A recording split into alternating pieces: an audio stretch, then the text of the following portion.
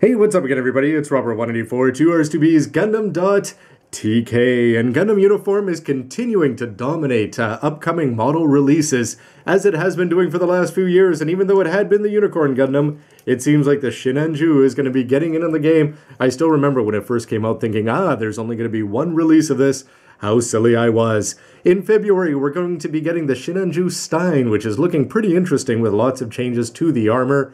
But in this case, it's just been announced that in March, instead of the version K in the nice white box that we've seen on shelves for years, it's going to be instead the uh, anime version. They're not calling it an OVA version so far. For a price of 7,500 yen, it is going to have the same base as the version KA. The only thing is, is that it's going to have the bazooka added to it, and so far, some of the information we've picked up is that the frame is going to be replaced. The ABS plastic that it used to be is going to become paintable plastic or so it would seem, which is sort of interesting, and I wonder if it's going to have any relationship to the MG new version KA. Could there be new replacement hands? I guess there's still more to be seen. And as the hobby mags come out with more information, there's text only in this month, uh, so I'm sure we're going to find out more. When you combine that with the fact that we're going to be getting all sorts of different uh, Banshees and all sorts of different robot Damashiis of full armors and in Unicorn and Destroy mode, it just seems like there is no stopping this Unicorn Juggernaut. You've got to wonder if Episode 7 is even going to wrap things up.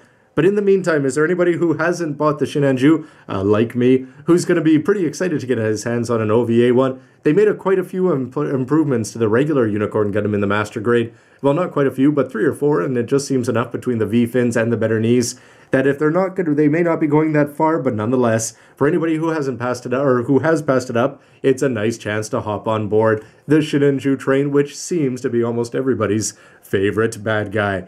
Anyway, everybody, love to hear your thoughts and speculation, and of course, stick around. There'll be more news leading up to the release, and of course, stick around for reviews, news, and lots more stuff like this.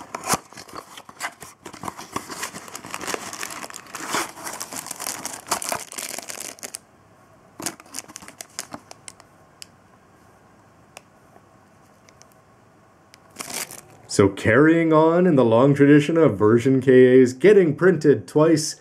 Anyway, everybody, as always, thanks for watching. Let me know what you think. We'll see you next time. Bye.